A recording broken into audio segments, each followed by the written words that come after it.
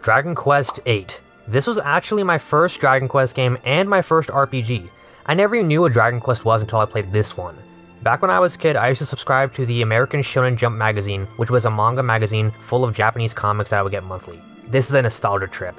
Usually the magazine would be bundled with a little prize such as trading cards and sometimes game demos. So during fall 2005, I got my issue Shonen Jump in the mail that had a feature on Dragon Quest VIII and it included a demo disc for the game, showcasing the first town and dungeon, and I played the hell out of this demo, beating it multiple times. Eventually, I got the real game, and the rest was history.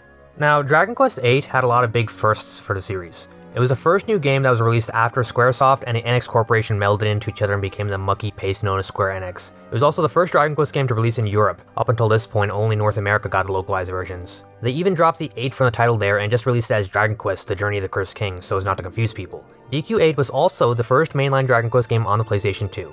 No, you don't count. This Dragon Quest game was a huge, massive, enormous leap in quality over the previous entry, Dragon Quest VII for the PS1.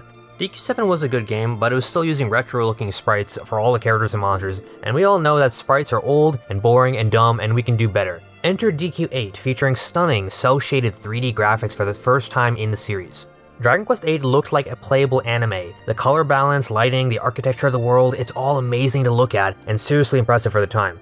I imagine that this was Toriyama's true vision for the series when they were making it way back in the 90s, but they just never had the technology to bring it to life until now. With an art style like this, the game is bound to be timeless. This was a major title for the PS2, and I still think it looks miles ahead of other games that released at the same year, especially running in HD with widescreen support. So it's important to know that there's different versions of Dragon Quest VIII, three versions to be exact.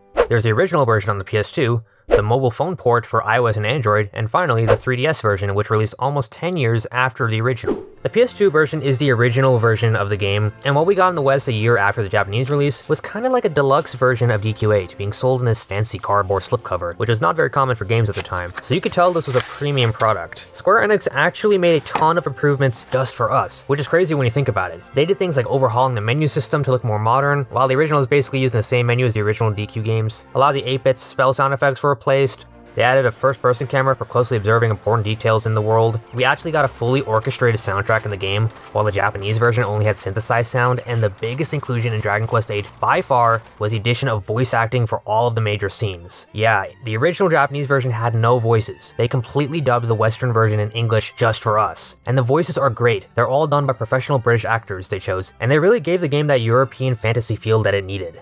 You watch! It gives the character so much personality. Even some of the minor NPCs are memorable because of it. Got some knocked off gear you want to get rid of, have ya? Absolutely one of the best features of the game. So the PS2 version is great, but what about the others? Well, there's the mobile port, and you should honestly skip that one unless it's your only option. The game is running on a phone, which means a lot of corners needed to be cut. So all those cool features like the voice acting and orchestral soundtrack are gone. It's basically just the Japanese version of the game. The graphics were toned down a bit too, so there's no more dynamic shadows anymore, which sucks. This leaves the last version, the 3DS remake of Dragon Quest VIII, which released a decade after the original. I am very conflicted on this version because there's a lot of new additions they added. Like, a lot. The 3DS remake has optional faster battles, which I love. There's no more random encounters, monsters are actually roaming the field now so you can avoid them finally. They added a photo mode with literally over a hundred different photo challenges. There's new dungeons, DLC items, new costumes, and they added two new party members, Red and Morrie, who you normally meet during the story. That's not to mention additional story sequences that add so much more to the overall narrative and actually make so much sense and explain a lot that the original story only implied. That is a ton of content they added. There's so many quality of life improvements such as instant alchemy, the ability to save up skill points rather than have to spend them right away, and the minimap on the bottom screen for easier navigation. It should be a no-brainer that this is the best version of the game. Well, there's a few things wrong with it unfortunately. To start, there's no orchestral soundtrack in either version of the game, even the English version. It's all MIDI for some reason, which really sucks because the symphonic soundtrack really adds to the atmosphere of the game. But if you're brave enough to mod your 3DS, it shouldn't be a huge problem. The game also has a bit of censorship. In the 3DS version, they chose to censor some violence, humiliation, and the most terrifying thing of all, thighs. A lot of the sexy outfits in the game were adjusted to be more modest for our very sensitive eyes. Although the bunny outfit actually looks even more provocative somehow, with an exposed midriff, so good job whoever did this. But by far the biggest weakness of the 3DS version is the graphics. On the 3DS, the game is running at 240p resolution and they made so many compromises just to get it running on the handheld. The graphics are horrendously bad compared to the PS2 version, it's not even close. The character models all have less detail, the colors of the world look all saturated, there's way less trees and vegetation, the clouds don't move quite like they used to, the dynamic lighting effects are just gone, with no real shadows being cast by the characters, and there's just overall less detail in the environments. How on earth do you make a remake of a game and it somehow looks worse than the original? I just don't understand. Putting this game on the 3DS was the biggest mistake they made. At this point, the new 3DS was already out and it was more powerful. They literally could have made it for that. It would have looked a lot better. Heck, they could have remade it on the Vita instead. That handheld was pulling off PS2 ports perfectly. But no, they made this game on the 3DS and it looks like ass. Okay, maybe I'm being harsh. It actually looks pretty decent compared to other 3DS games, but it could have looked better. And even though the visuals aren't great, I still play it because I'm a sucker for all the new content. It can't be helped. In the end, as much as it pains me to say it, I usually prefer playing the PS2 version because a game like this deserves to be experienced on the big screen with these kinds of amazing visuals. And it is a tough call because the added scenes and features in the 3DS version make it an absolute joy to play, so make your choice based on what's most important to you. I tend to go back and forth depending on my mood. Man, if only Square Enix ported this game to modern consoles and PC, that would solve all of our problems. We could have the good graphics and all the features from the original, with the additional content from the 3DS port making for a perfect addition. Man, that would be such a good idea. I wonder why they haven't done this yet. I mean, it's not like they've been making remakes of every single other game that they've released on the PS2 or something, and it's not like this is one of the best-selling games on the PS2 or anything like that. That sure would be a genius idea though, wouldn't it? Anyway, let's talk about the game. Dragon Quest VIII is a character-driven RPG focused on the individual party members and their struggles. Here, the crew is led by the main character, a former guard of Trodain Castle. I like to call him 8 because that was his default name in the demo. He's initially joined by his companions Yangus and King Trode. The basic story is that 8 is the only survivor of a curse that turned all of Kingdom of Trodain's citizens into plants and ruined the entire kingdom, with the king being turned into a small, green, Yoda-looking creature, and his daughter, Princess Medea, turned into a horse that pulls your wagon. And this was all done by Dhoulmagus, a wicked jester who infiltrated the kingdom and stole its greatest treasure. It's pretty straightforward. Trode is this stuck-up little imp who looks like someone smacked him in the face with a shovel. He's very sensitive about his appearance and rarely ever goes into town with you out of fear of being attacked for looking like a monster. This Strange creature? Are you referring to me? But this doesn't really affect the way he acts. He still pretty much bosses the main character around like a lackey, which makes sense since you do technically work for him. And Trode's most outward character trait is his affection for his daughter, Princess Medea, aka the horse who pulls your wagon around. There you are. Thank goodness you're safe, Medea. Yeah, the princess is the horse, and she still has her intelligence after being cursed, and is shown to be very brave, protecting her father when angry townsfolk attack him. She will be really important later on in the story. You're also accompanied by Yangus, a former bandit trying to go straight. He's sort of indebted to 8 for saving his life in the past, and he's just a great character. He's a ruffian with his Cockney accent being voiced by British comedian Ricky Grover. He's very lovable, and he turns into a PNG image whenever he sees King Trode appear out of nowhere.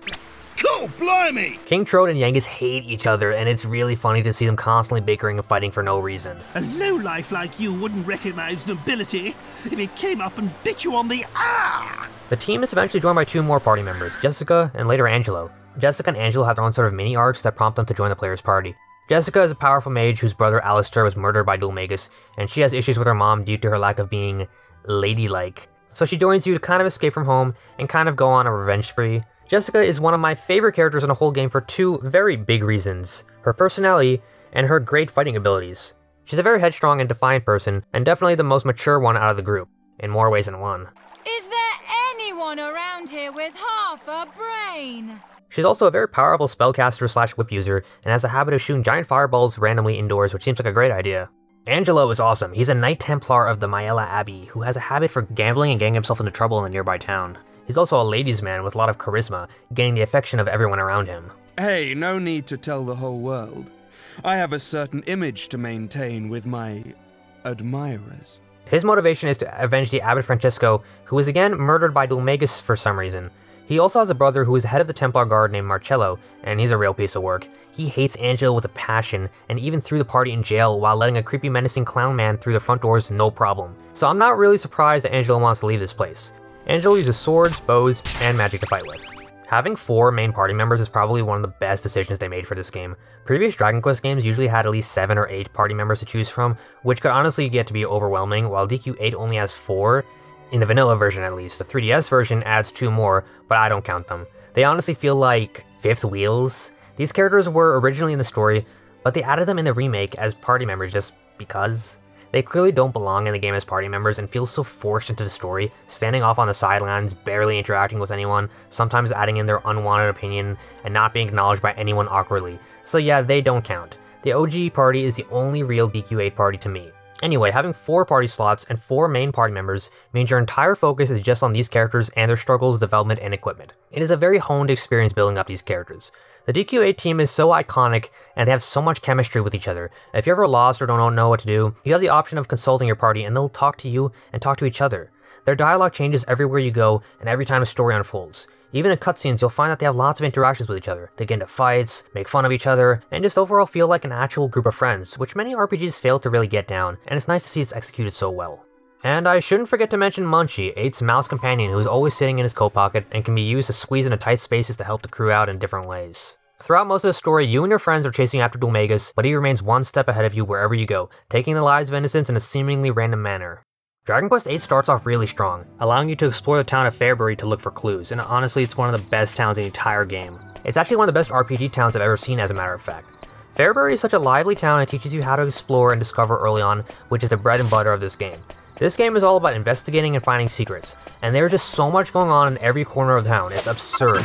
Just from exploring, you find that there's a well in the corner of town that you can climb down, and at the bottom there's a treasure chest with a leather shield inside, saving you from having to buy that one yourself. Some bookshelves in town have books you can read, explaining the lore of the world you're in. Characters in town talk about events that occurred recently. There are some treasure chests that are locked, which hints that you might want to come back later in the game when you can unlock them. You can raid people's cabinets and steal their things, which is a very heroic thing to do. Oh look, a pot lid. And we can equip it on Yangus to use as a makeshift shield. There's a lot of cool things to discover in these towns, and probably the standout feature of the game is the way the game uses NPC dialogue to give hints to the player of where to go next, sort of guiding the player's sense of discovery. You see, there's no quest log in the game, you pretty much have to pick up clues from townspeople and remember them for later, and this is the most organic and realistic way for an adventure game to guide the players around. Early on, you'll hear townspeople talking about rumors regarding certain people of interest, the shopkeeper in the back of the weapons store tells you a rumor about a key that can open any chest, and another shopkeeper in town will tell you a secret location of a recipe to make this key, but only if you go behind the counter and talk to him at the right time of day. Oh yeah, this game also has a dynamic day and night cycle. As time goes by, the clouds in the sky move around, the sun sets, and it actually turns to night in real time, which affects quests, the kind of monsters you encounter outside of town, and even the sleeping patterns of the townspeople. Yeah, the townspeople actually go to sleep at night. Isn't that immersive? And the game keeps track of every townsperson in the game. They all move around depending on the time of day and reveal different tidbits, which is crazy attention to detail. For example, during the daytime, this woman keeps complaining about her ring she lost and how she can't find it.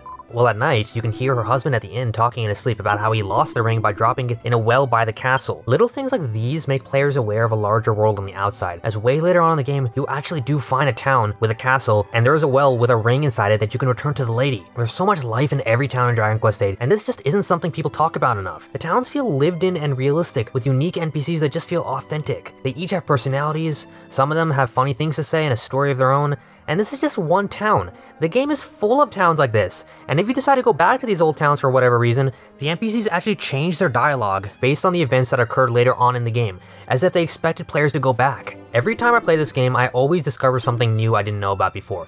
It's like all the towns and cities in the game are connected to each other, and every NPC is aware of a world on the outside. Sometimes you find characters referencing events and people from other towns when you visit them too. It really makes DQ8's world feel like a real world with history and connections and consistency. I always feel compelled to talk to every character in the towns and explore every house, just to find a hint or some tidbit of lore fleshing out the world of Dragon Quest VIII. It's phenomenal how much attention goes into these little details. This franchise just knocks it out of the park with its towns and people. It's one of Dragon Quest's greatest strengths for its storytelling, and it is just highlighted in the first town so strongly. But the game really shines when you leave town and go outside. Here's where we're introduced to Dragon Quest VIII's vast overworld with hills, trails, and trees to explore. This game has an amazing adventure atmosphere that just begs you to explore. There's this excellent, majestic soundtrack for when you're roaming the countryside, and it's really great with the orchestral theme. There's roads, hidden pathways, and it all feels so seamless. There's also cows on the side, and when you talk to them, you get a bottle of fresh milk all packaged up. like, like the cow just hands you the bottle like it's the grocery store or something. Finding your way is simple. There are signposts telling you what's ahead, and you have a map with topography to kind of analyze and figure out where to go. It's really nice having a system of discovery like this when most games nowadays are obsessed with giving you mini maps and flashing markers telling you where to go. It's almost like the game is letting you get lost and find your own way. And if you decide to go off the beaten path, there's plenty to discover, like treasure chests, dungeons, and towns. The UI overall is very minimalistic. All you have is a compass, a map, and your wits. It's all about using these few tools you're given to get lost and find your way around. Game developers are just now realizing how refreshing this feeling is, with newer open world games toning down the UI to put a focus on the world and the atmosphere around you. And this world has atmosphere. This game is a true open world adventure where you travel an entire world. Every mountain and cottage you see off into the distance you can actually go to, and there's secrets all around. Maybe you get to a waterfall cave and notice a hut on top of it, so you decide to venture around and discover a mysterious old man living there who asks you to find his toolkit. It's this kind of moment to moment discovery and adventure that really sells the experience for me.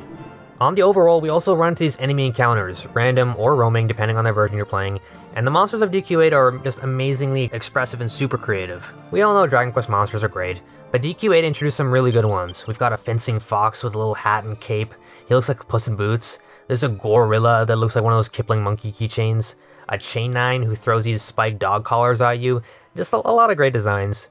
But let's talk about how we beat up these creatures now. DQ8 is turn-based, and in the PS2 version, it's honestly a little bit slow because of all the flashy animations, which makes me appreciate the 3DS's fast battling all the more. For the most part, it's your typical Dragon Quest combat system, you attack, defend, use magic abilities and items, but what's new is you can psych up, which takes a turn to sort of boost your attack power, and you can keep psyching up until you get to a state of high tension to deal a huge amount of damage, which is strategic for bosses.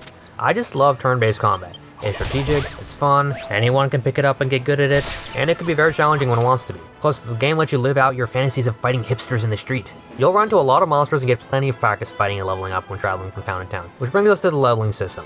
Dragon Quest VIII's progression system is based on skill points, which is new for the series and very simple and easy to grasp. Basically, each character has 5 different skill sets. Three different weapons, one unarmed, and one personality skill set. Hero has courage, Yangus has humanity, Angelo has charisma, and Jessica has sex appeal. Every time you level up, you have a chance of getting some skill points that you can use to upgrade each set, which will reward your character with additional abilities for battle and on the field. Leveling up any of these skill sets unlocks you some very useful abilities, such as the Underpants Dance, or the Puff Puff, which allows Jessica to seduce the enemies. Usually my go-to is focusing on just one weapon for most of the game, while putting enough into special skill to get whatever moves you want. For 8, swords and spears are great, Yangus does really well with axes and scythes, Jessica is best equipped with whips, and Angelo should use bows. It's a really simple system that anyone could grasp, but it works well and it's really fun leveling up characters in ways that suit your playstyle. A bit into the game you'll unlock the Alchemy pot which allows players to combine two or three items to create a new item using a recipe. Recipes can be found in books or from talking to people, or you could just Google them like a cheater. Yeah, you don't actually need to find a recipe in the game to make something if you already know the recipe. Nothing is stopping you from just making things if you know how to. You could also just blindly guess and come across something. It's honestly great that they give you this kind of freedom to experiment around. Maybe on a second playthrough you might remember some recipes from before and be able to make some high level equipment early. That's a lot of freedom they give you. As soon as you get the alchemy pot, you'll already have enough materials for a new whip for Jessica and a thief's key, allowing you to go back and open any chest you missed, which is a great setup. The alchemy pot lets you make stronger medicinal herbs and consumables, any kind of weapon and armor you can think of, accessories, and you can even make different kinds of cheese for Munchie using the fresh milk combined with something extra for an added effect.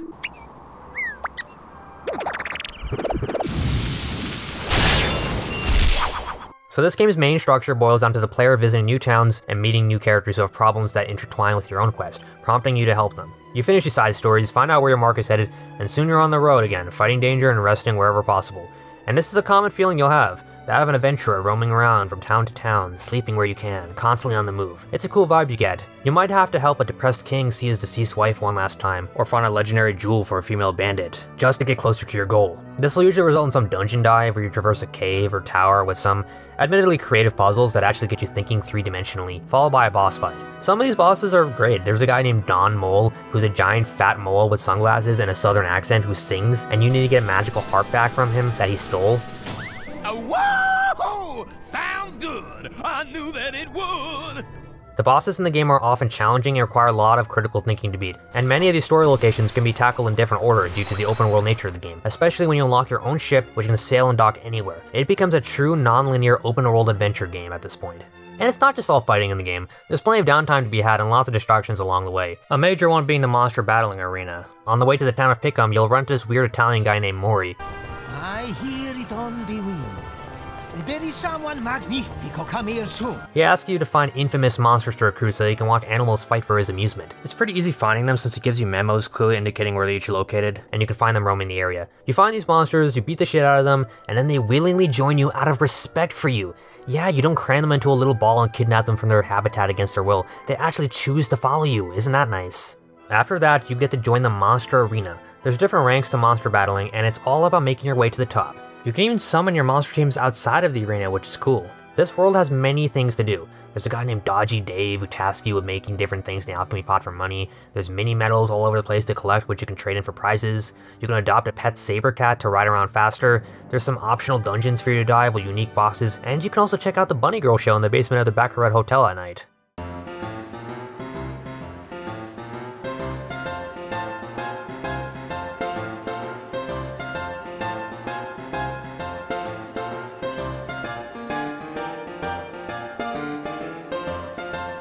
Man, what a bunch of sick freaks. Oh, merciful goddess, pardon my sin. Come on up, there's plenty for everyone, just look at the size of him. Someone tell that moron to get down in front, I can't see the stage. Oh, this one isn't jealous at all. I'll give Dragon Quest VIII one thing, it's very realistic. I don't think a medieval fantasy world would actually exist without a place like this for the locals to go to. Let's see what the bartender has to say. Oh, so the slot machine to the right of the flower box is loose, huh? Oh yeah, there's a casino in the game. There's actually two, one in Pickham and one in Baccarat. At the casino, there's slot machines, roulette, and a bingo game you can play.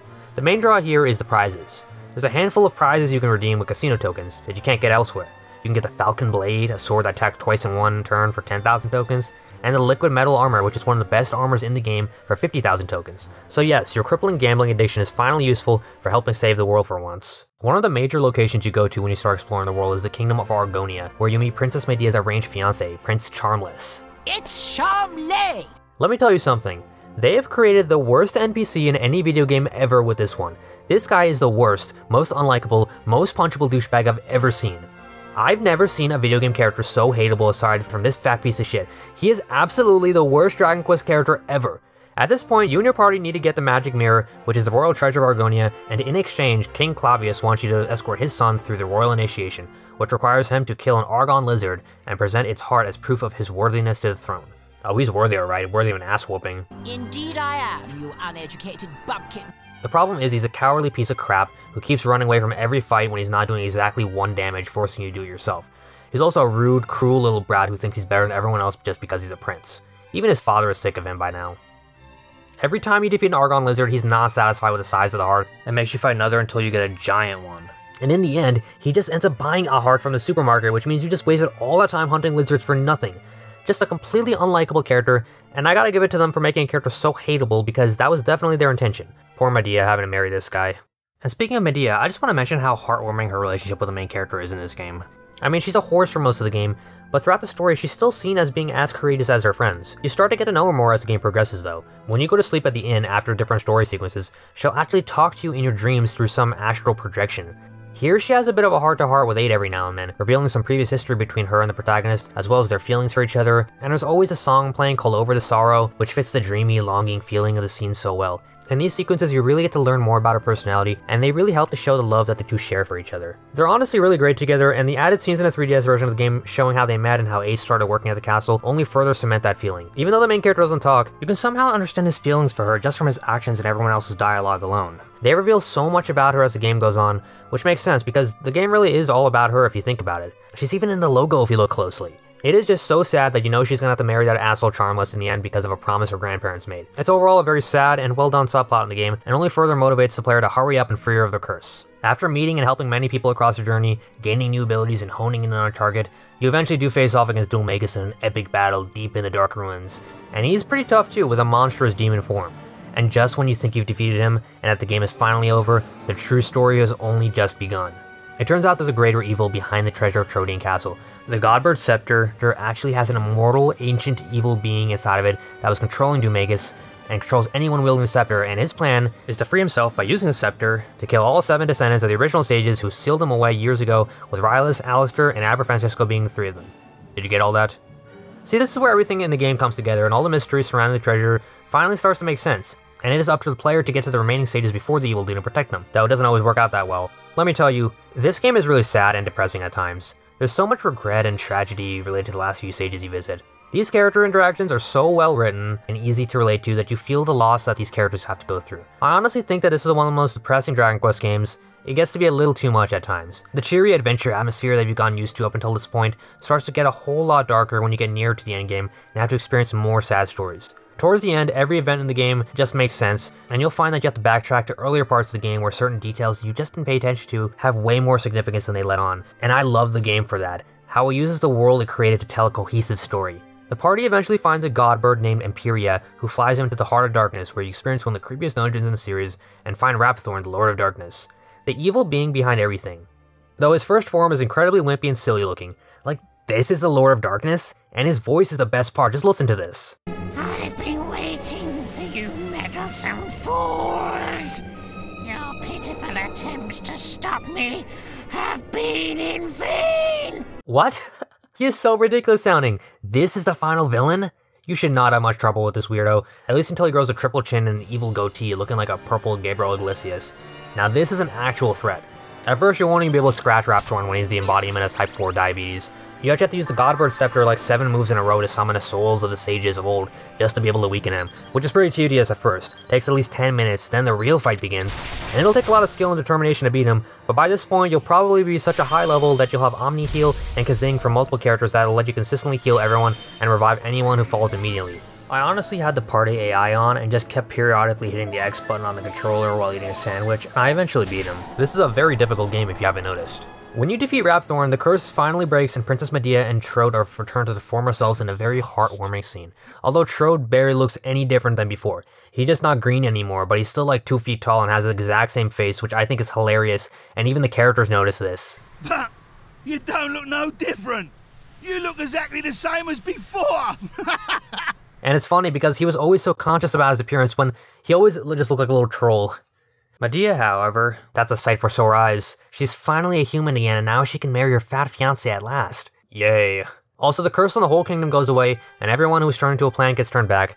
And of course, this calls for an obligatory celebration feast scene where we get a slideshow of still PNGs with this ridiculous confetti filter over it looking like Windows Movie Maker. It, it's, it's like they ran out of money in the budget at, at the end and said, hey, screw it, let's use this fancy new program Microsoft Paint to be done with this. And so the day is saved and everyone goes about their lives. Then we fast forward a few months, and 8 is already the captain of the Royal Guard for his bravery in rescuing the kingdom. But he also has to escort Medea to Savella Cathedral on her wedding day to Prince Fatso, and you can tell it's making him upset even though he doesn't say anything.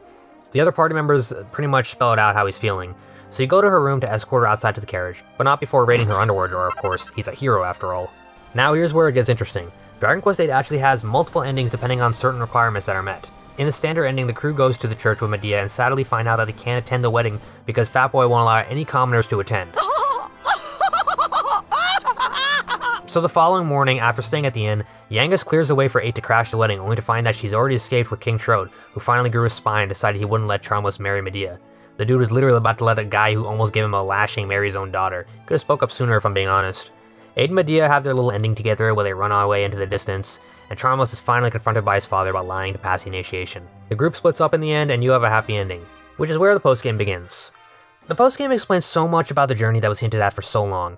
It basically brings you back to right before fighting Rapthorn, except the world is slightly different this time, as there's a new area we can visit called the Dragovian Sanctuary, which changes the trajectory of the story. Here the party discovers a village full of elf-like dragon people known as the Dragovians, and we find out that 8 is actually one of them who's cast away as a child. So the main character of Dragon Quest VIII is actually part dragon, and this whole time Munchie was actually 8's Dragovian grandfather in disguise, looking over him, which explains why Munchie was so intelligent. His name is Chen Mui. Oh, I get it. It's like an anagram of Munchie. That's clever, yeah.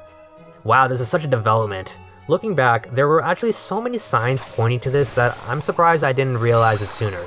This game is very, very good at foreshadowing. It does it so subtly that, playing it a second time, you notice so many things you didn't notice before. Anyway, the crew is tasked with completing the Dragovian trials by the Lord of the Dragovians, and after passing the trials, you find out the truth from Chen Mui, that Eight's father was actually King Clavius' older brother who fell in love with a Dragovian princess, and Munchie is extremely racist, so he naturally objected, and they both died of a broken heart or some shit, I don't even know. But what this really means is that Eight is actually the rightful heir to the throne of Argonia, and he's Charmless's cousin! What? This dude is your cousin? Are you kidding me? Must take after his mom. So Chen Mui gives you your father's Argon ring, which is proof of your royal lineage, and when you refight the Rapthorn boss and get through all the events all over again, this time you're able to visit Clavius the night before the wedding and show him the ring. He naturally gets pretty mad at you for trying to usurp the throne, and tells you to go away. However, the following morning during the wedding, he changes his mind. I... I have reconsidered. You are the rightful groom. So in the end, 8 and Medea actually get married and we have a happy ending between the two. I love this ending. Dragon Quest VIII is like a fairy tale in video game form, and this is the perfect ending for a game like that. It's so nice to see Medea saved by 8 and the two of them getting to be together finally. It almost makes you cry, doesn't it? Well, don't cry yet. There's actually a third ending. In the 3DS version, when you present the ring to Clavius at night and tell him that you don't like Medea, he'll assume that there's someone else you like, and in the morning, instead of Medea showing up for the wedding, it's... Jessica? What? So yeah, in the 3DS port, they made a new ending where you marry Jessica just because. Obviously, over the years, people prefer Jessica as the best Dragon Quest waifu, and the DQ team knows it, which is why they added this to the game. In this ending, Jessica is wearing Medea's wedding dress, which she uh, certainly fills in, and admits that she loves you, and Medea is there wishing you well with no hard feelings. This ending also has more dialogue and is overall way longer and more detailed than the other endings, which is why I kinda like it the most. Plus, I like Jessica a lot, so I don't mind this one bit. It really shows you how much of an RPG this is because they allow you to make a choice of who you want to marry in the end. Because you spend about as much time with Jessica as you do with Medea's, and some people would rather marry Jessica. So I give them props for adding this ending to the game. Whatever ending you choose, they're all good in their own ways, and they close off the game nicely. And that's it. That's Dragon Quest VIII. There's a reason it resonated with audiences at the time and made so many people become fans of the series. To me, it is hands down the best RPG of the PlayStation 2 era, and an adventure that just doesn't get old. I hope you enjoyed my retrospective on Dragon Quest VIII and what it means to me. Tell me your Dragon Quest VIII story in the comments too, I'd really like to hear them. Thanks for watching, and I'll see you next time.